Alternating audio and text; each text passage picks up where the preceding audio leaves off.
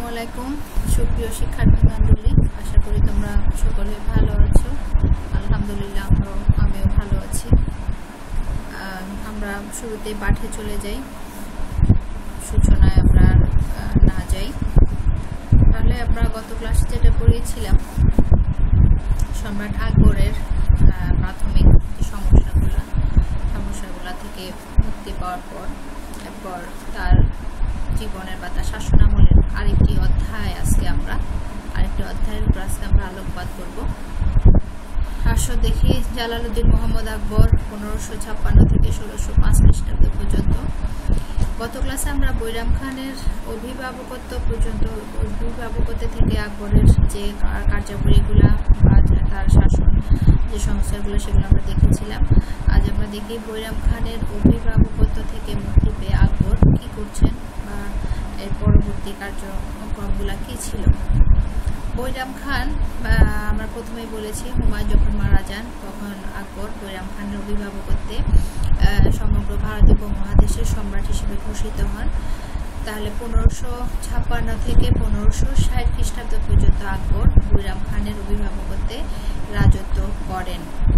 এরপর আকবর অন্তপুরের প্রাধান্যের কারণে বৈরাম খানের অভিভাবকত্ব থেকে মুক্তি পাওয়ার জন্য সচেষ্ট হয়ে ওঠেন এবং সেটারই পদক্ষেপ অনুযায়ী আমরা গত ক্লাসে বলেছি যে আকবর বৈরাম খানকে পদচ্যুত করেন এবং তাকে মক্কা যাবার অনুমতি প্রদান করেন। কিন্তু পনেরোশো একষট্টি খ্রিস্টাব্দে আততায়ীর হাতে বৈরাম খানের মৃত্যু হয়।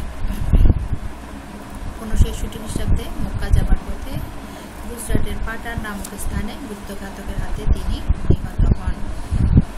এরপরও পনেরোশো ষাট খ্রিস্টাব্দ পর্যন্ত বৈরাম খানের অভিভাবকতে থাকার পরও তিনি সম্পূর্ণভাবে অভিভাবকত্ব মুক্ত হতে পারেনি কারণ এরপরে তার ধাত্রীমাতা মহামানব এবং তার পুত্র, ধাত্রীমাতার পুত্র আদম খান এবং অন্যান্য আত্মীয় স্বজনের প্রভাবাধীনে তাকে আরও চারটি বছর সময় কাটাতে হয়। পনেরোশো চৌষট্টি খ্রিস্টাব্দে আকবর অন্তপুরের চৌষট্টি খ্রিস্টাব্দ পর্যন্ত অন্তপুরের প্রভাবালয়ে তিনি আবদ্ধ ছিলেন। পনেরোশো চৌষট্টি খ্রিস্টাব্দে সম্পূর্ণভাবে তিনি অন্তপুরের প্রভাবমুক্ত হন এবং শাসন ক্ষমতা নিজ হস্তে গ্রহণ করেন। শাসন ক্ষমতা নিজ হস্তে গ্রহণ করার পর পরে তিনি রাজ্য বিজয় মনোনিবেশ করেন। আমরা প্রথমে বলেছি হুমায়ুন তার শাসনামল শুরু করেছিলেন বা তার বিজয় বিজয় করেছিলেন পাঞ্জাব, দিল্লি ও আগ্রা। এই তিনটি রাজ্য তিনি জয় করেছিলেন। এই তিনটি রাজ্যের দিয়ে তিনি তার রাজত্ব শুরু করেছিলেন পরবর্তীতে। আকবর বংশানুক্রমে বা উত্তরাধিকারী সূত্রে এই তিনটি এলাকার রাজত্ব পুনরায় আবার নিজ হস্তে নিতে সক্ষম হন। কিন্তু এই ক্ষুদ্র রাজ্য নিয়ে উচ্চাকাঙ্ক্ষী আকবর পরিতৃপ্ত ছিলেন না। যার কারণে হিন্দুস্তানের একচ্ছত্র অধিপতি হওয়ার একটা উচ্ছ্বাসা তার ছিল। আর বৈরাম খানের পদচ্যুতির পরে পদচ্যুতি পরে আকবর রাজ্য বিস্তারে সম্পূর্ণভাবে মনোযোগী হন। তিনি আদম খান এবং পীর খানের পীর মোহাম্মদের সাহায্যে আহ, এখানে মরাব দেয়া আছে। এটা ইয়ের ভুল টাইপিং এর ভুল রয়েছে মালক হবে পনেরোশো একষট্টি খ্রিস্টাব্দে আদম খান এবং পীর মোহাম্মদের সাহায্যে তিনি মালব জয় করেন। মালবের রাজা রাজ বাহাদুর পরাজিত হয়ে পলায়ন করেন। অল্প সময়ের মধ্যে তিনি মালব উদ্ধার করেন। মালব ইতিপূর্বেও মুঘল শাসনাধীনে ছিল, কিন্তু মুঘলরা মুঘলদের কাছ থেকে এটা পুনরায় আবার হস্তচ্যুত হয়ে পড়েছিল। যার কারণে আকবরকে মালব পুনরুদ্ধার করতে হয়েছিল। পরে রাজ বাহাদুর আকবরের বর্ষতা মেনে নিয়েছিলেন। পনেরোশো চৌষট্টি খ্রিস্টাব্দে আকবর সাম্রাজ্যের শাসনভার নিজ হস্তে গ্রহণ করে কৌটিল্যের নীতি অনুসরণ করে প্রতিবেশী রাজ্য দখলে মনোনিবেশ করেন এবং এই প্রতিবেশী রাজ্য দখলের জন্য তিনি চেষ্টা চালিয়ে যান। আশফ খানকে আশফ খানকে তিনি গন্ডোয়ানা বিজয়ে প্রেরণ করেন এবং গন্ডোয়ানা রাজ্যের একাংশ তিনি মুঘল সাম্রাজ্যভুক্ত করে নেন গন্ডোয়ানার রাজা বীর নারায়ণ নাবালক ছিলেন তার কারণে তার মাতা দুর্গাবতী নাবালক পুত্রের প্রতিনিধি হিসেবে রাজকার্য পরিচালনা করতেন কিন্তু মুঘল বাহিনীর নিকট তিনি পরাজিত হন এবং আহ, অপমান এড়াতে তিনি আত্মহত্যা করেন যার কারণে কন্ডোয়া রাজ্যের একাংশ মুঘল সাম্রাজ্যভুক্ত হয় ইতিমধ্যে মালবের শাসনকর্তা, যে মালব জয় করার পর যেখানে শাসনকর্তা নিয়োগ করা হয়েছিল আবদুল্লাহকে মালবের শাসনকর্তা আবদুল্লাহ জৌনপুরের শাসনকর্তা খান জামার বিদ্রোহ ঘোষণা করেন। আকবরের ভ্রাতা মির্জা হাকিমও নিজেকে সম্রাট বলে ঘোষণা করেন। আকবর একে একে এদের বিদ্রোহগুলো দমন করেন।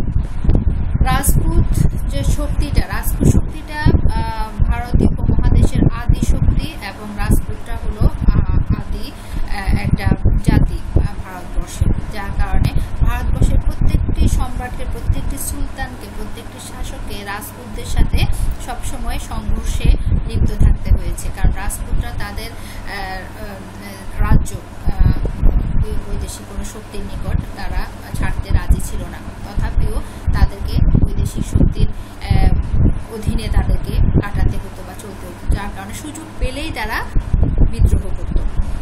রাজপুত এবং অম্বরের রাজা সরি, এখানেও ভুল আছে, অম্বরের নয়, এটা হবে অম্বরের। অম্বরের রাজা বিহারি মল্লের সাথে আকবর একটি মিত্রতার নীতি অবলম্বন করেন।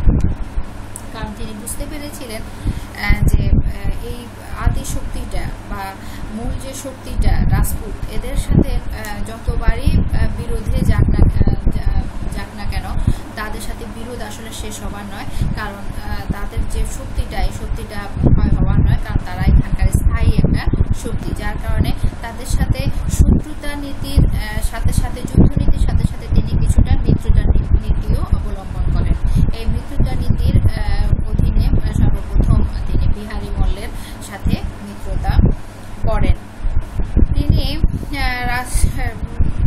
খানুয়ার যুদ্ধে আসলে রাজপুত শক্তি কিন্তু পুরোপুরি ধ্বংস হয়নি আকবর দূরদর্শী ছিলেন যার কারণে নিজের রাজ্যের নিরাপত্তা এবং শান্তি শৃঙ্খলার জন্য রাজপুতদের নিজের বসে রাখার জন্য মিত্রতা নীতি অবলম্বন করেছিলেন এছাড়া এই রাজপুতনার মধ্য দিয়ে উত্তর পশ্চিম ভারতের যাতায়াত ও বাণিজ্যের সোজা একটা পথ ছিল, যার কারণে তাদের সাথে মিত্রতা নীতিতে আবদ্ধ না হওয়া ব্যতীত আকবরের হাতে অন্য কোনো পথও খোলা ছিল না, যার কারণে আকবর রাজপুতদের প্রতি সৌহার্দ্য প্রদর্শন করেন। এই কারণে অম্বরের রাজা বিহারী মল্লের সাথে আকবর মিত্রতা নীতি স্থাপন করেন। তিনি নিজ কন্যার সাথে, অর্থাৎ বিহারী মল্লের কন্যার সাথে আকবরের বিবাহ হয়। আকবর বিহারী মল্লের কন্যাকে বিহারী মল্লের পুত্র ভগবান দাস এবং পুত্র মানসিংহকে আকবর সেনাবাহিনীতে উচ্চ পদে নিয়োগ দেন। এভাবে আকবরের রাজপুতদের সাথে মিত্রতা নীতি শুরু হয়। এরপর পনেরোশো সাতষট্টি খ্রিস্টাব্দে, পনেরোশো সাতষট্টি খ্রিস্টাব্দে আকবর চিতোর অবরোধ করেন। চিতোরের রাজা খুবই অহংকারী ছিলেন। এবং চিতোর দখল করাটা আকবরের সামরিক প্রতিভার একটা পরিচয় ছিল।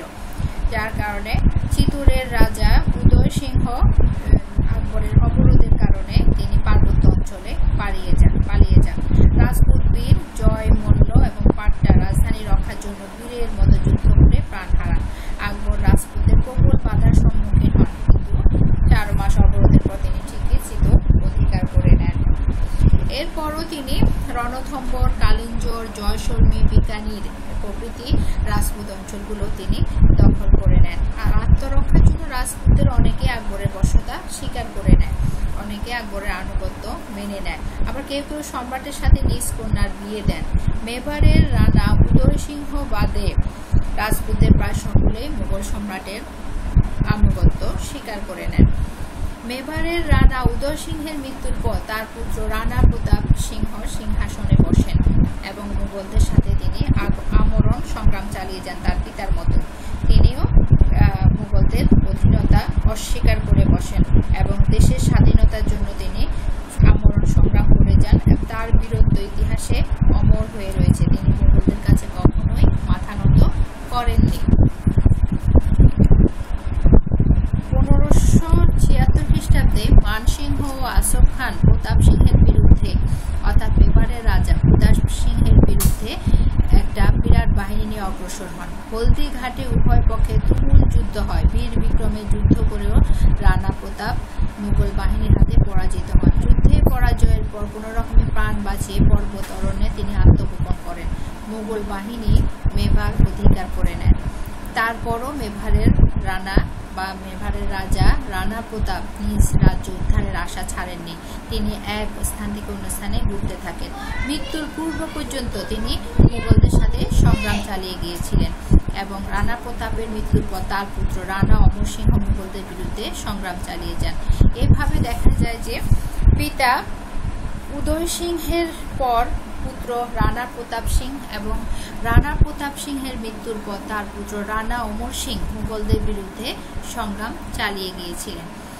যার কারণে অবশেষে পনেরোশো নিরানব্বই খ্রিস্টাব্দে রানা প্রতাপের পুত্র রানা অমর সিং মানসিংহের সাথে যুদ্ধে পরাজিত হন। মেবার সম্পূর্ণভাবে জয় করা মুঘল বাহিনীর পক্ষে সম্ভব হয় নাই। আকবরও আর এই মেবারের বিরুদ্ধে কোনো অভিযান প্রেরণ করেননি। আকবর সেখানে দয়া এবং সহিষ্ণুতা প্রদর্শন করেছিলেন। এরপর হলো গুজরাট বিজয়। আকবরের গুজরাট বিজয়ও একটি ঐতিহাসিক ঘটনা। গুজরাট বিজয় আকবর রাজত্বকালের একটি গুরুত্বপূর্ণ ঘটনাও ঘটে। গুজরাটের ধন সম্পদ, উন্নয়নশীল ব্যবসা বাণিজ্য এবং সমুদ্র উপকূলের বন্দরগুলির অর্থনৈতিক গুরুত্বের কারণে সম্রাট আকবর গুজরাটের দিকে দৃষ্টি দেন। গুজরাটের শাসক তৃতীয় মুজাফর শাহ ছিলেন একজন অকর্মণ্য এবং অযোগ্য শাসক। তা তিনি তার সাম্রাজ্য তার এলাকার বা তার রাজ্যের বিদ্রোহী সর্দারদেরকে দমন করতে সক্ষম ছিলেন না, যার কারণে তিনি মুঘলদের নিকট সাহায্য প্রার্থনা করেন এবং আকবরও সুযোগ পেয়ে যান গুজরাট জয়ের। পনেরোশো বাহাত্তর খ্রিস্টাব্দে আকবর নিজে গুজরাটের বিরুদ্ধে যুদ্ধে অংশগ্রহণ করেন। পনেরোশো বাহাত্তর খ্রিস্টাব্দে মুজাফর শাহকে পরাজিত করে সম্রাট গুজরাট দখল করে নেন। পনেরোশো তিয়াত্তর খ্রিস্টাব্দে তিনি সুরাটও জয় করে নেন। অল্প কিছুদিন পরে গুজরাটে আবার বিদ্রোহ দেখা দেয়। আকবর দ্রুত এই বিদ্রোহ দমন করে গুজরাটে নিজ অধিকার পুনঃপ্রতিষ্ঠা করেন। আকবরের গুজরাট বিজয়ের ফলাফল ছিল সুদূর প্রসারী গুজরাট বিজয়ের ফলে দাক্ষিণাত্যে মুঘল সাম্রাজ্য বিস্তারের পথ প্রশস্ত হয় এবং আকবরের রাজ্য সীমা সমুদ্র তীর পর্যন্ত বিস্তৃত হয়। গুজরাট জয়ের ফলে বিপুল ধন সম্পদ হস্তগত হওয়ায় রাজ্যের অর্থনৈতিক অবস্থা চাঙ্গা হয়ে ওঠে। রাজস্ব সংস্কারের ফলে সরকারের রাজস্ব আয় বৃদ্ধি পায়। তৃতীয়ত, গুজরাট বন্দরের মাধ্যমে অন্যান্য দেশের সাথে ভারতের ব্যবসা বাণিজ্যের পথ প্রশস্ত হয়। ডক্টর স্মিথের মতে, গুজরাট জয় আকবরের রাজত্বকালের একটি গুরুত্বপূর্ণ ঘটনা। আকবরের বাংলা বিজয়। বাংলা বিজয়ের যে ঘটনাটা সেটা অনেক ইন্টারেস্টিং একটা ঘটনা। দেখো, গুজরাট জয়ের পর আকবর বাংলার প্রতি মনোনিবেশ করেন। দূরদর্শী শাসক আকবরের বাংলার শাসক ছিলেন এর পূর্বে সুলাইমান কররানী সুলাইমান কররানী একজন দূরদর্শী শাসক ছিলেন। তিনি আকবরের সাথে সুসম্পর্ক বজায় রেখে বাংলা শাসন করছিলেন। কিন্তু সুলাইমান কররানীর মৃত্যুর পর প্রথমে বায়াজিৎ কররানী বাংলা সিংহাসনে বসেন। অল্প কিছুদিন পরে তিনি নিহত হন এবং তার পরিবর্তে তার কনিষ্ঠ পুত্র অর্থাৎ সুলাইমান কররানীর কনিষ্ঠ পুত্র দাউদ কররানী বাংলার সিংহাসন দখল করেন। এটা হলো পনেরোশো তিয়াত্তর খ্রিস্টাব্দে। পনেরোশো তিয়াত্তর খ্রিস্টাব্দে দাউদ কররানী সিংহাসনে বসেই আকবরের বর্ষতা অস্বীকার করে স্বাধীনতা ঘোষণা করেন এবং নিজ নামে মুদ্রা জারি করেন। তিনি পিতার ন্যায় যোগ্য এবং দূরদর্শী শাসক ছিলেন না, যার কারণে প্রচুর ধন সম্পদ এবং বিরাট সেনাবাহিনীর অধিকারী অধিকারী হওয়ায় তিনি নিজেকে খুব শক্তিশালী মনে করে আকবরের রাজ্যের পূর্ব সীমান্তের জামানিয়া দুর্গটি অধিকার করে বসেন এবং আকবরের রোশান হয়ে পড়েন। বাধ্য হয়ে পনেরোশো চুয়াত্তর খ্রিস্টাব্দে আকবর সসৈন্য দাউদের বিরুদ্ধে অর্থাৎ দাউদ করানির বিরুদ্ধে তিনি অগ্রসর হন। হাজিপুর ও পাটনায় দাউদকে পরাজিত করে আকবর মুনিম খানকে বাংলার অভিযানের, বাংলার পরবর্তী অভিযানের নির্দেশ দিয়ে দিল্লি ফিরে যান। দাউদ পাটনা ছেড়ে উড়িষ্যায় পালিয়ে যান। মনিম খান ও রাজা মল মুঘল বাহিনী নিয়ে একে একে মুঙ্গের ভাগলপুর সুরজগড় কোলগাঁও, তেলিয়াগাড়ি প্রভৃতি অর্থাৎ বাংলার বিভিন্ন স্থানগুলো দখল করতে থাকেন। দাউদ আবার মুঘল বাহিনীর বিরুদ্ধে প্রতিরোধ করে তোলেন, কিন্তু বালেশ্বরের নিকট তুকাইরের যুদ্ধে মুঘল বাহিনীর হাতে তিনি আবার পরাজিত হন এবং মুঘলদের বর্ষতা স্বীকার করেন। অতঃপর মনিম খান বাংলায় প্রবেশ করেন। দাউদ পুনরায় পলায়ন করলে রাজা টোডরমল তার পশ্চাধাবন করেন। পনেরোশো পঁচাত্তর খ্রিস্টাব্দে মুনিম খানের মৃত্যু হলে এই সুযোগে দাউদ আবার বাংলা অধিকার করেন। সম্রাট আকবর দাউদকে শাস্তি দেওয়ার জন্য এক বিরাট বাহিনী প্রেরণ করেন। রাজমহলের যুদ্ধে দাউদ সম্পূর্ণভাবে পরাজিত ও বন্দী হন এবং তাকে প্রাণদণ্ড দেয়া হয়। এবার বাংলা আকবরের রাজ্যভুক্ত হয় এবং খান জাহান বাংলার শাসনকর্তা নিযুক্ত হন। এভাবে দেখা যায় পনেরোশো দাউদ খানের পতনের মধ্য দিয়ে বাংলায় আফগান শাসনের পতন হয়। পনেরোশো বিরানব্বই খ্রিস্টাব্দে উড়িষ্যা জয় করেন এবং কাশ্মীর, সিন্ধু, বেলুচিস্তান, কান্দাহার ও কাবুলও বিজিত হয়। পনেরোশো চৌষট্টি খ্রিস্টাব্দ থেকে ষোলোশো এক খ্রিস্টাব্দ পর্যন্ত অশীর্ঘদ দুর্গটি জয় করা পর্যন্ত প্রায় পঞ্চাশ বছর আকবর মুঘল সাম্রাজ্যের সীমানা বিস্তার অব্যাহত রাখেন। তাহলে এই ছিল আকবরের রাজ্য বিস্তারের মোটামুটি একটা ধারণা তোমাদেরকে আমরা দেওয়ার চেষ্টা করলাম। আকবরের জালালুদ্দিন মোহাম্মদ, আকবরের এই চ্যাপ্টারটা আমাদের শেষ করতে আরও দুটো থেকে তিনটে ক্লাস করতে হবে। কারণ মুঘল সাম্রাজ্যের সম্পূর্ণ ধারণা পেতে এবং মুঘল সাম্রাজ্য কীভাবে সুউচ্চ শিখরে আরোহণ করেছিল, এটা আকবরের রাজত্বকাল আলোচনা ব্যতীত আমরা বুঝতে সক্ষম হব না। আকবরের রাজত্বকালে মুঘল সাম্রাজ্য উন্নতি এবং সমৃদ্ধি স্বর্ণ শিখরে আরোহণ করতে সম্ভব হয়েছে। তাহলে আজকে আমরা এতটুকু এর মধ্যে শেষ করি। আগামী ক্লাসে আমরা আবার তোমরা আকবরের আরেকটি সংস্কার নিয়ে হাজির হব ইনশাল্লাহ সেই পর্যন্ত তোমরা সুস্থ থাকো, ভালো থাকো।